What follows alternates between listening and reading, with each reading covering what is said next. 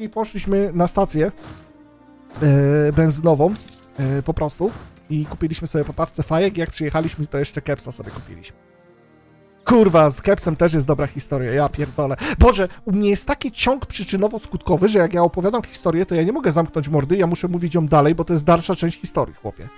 Tak się nażarliśmy kepsów, że wróciliśmy do, do, do internatu i kurwa, Niemcy nam nagotowali parówek jakiś kiełbas, kurwa, i wpierdoliliśmy chyba po 10.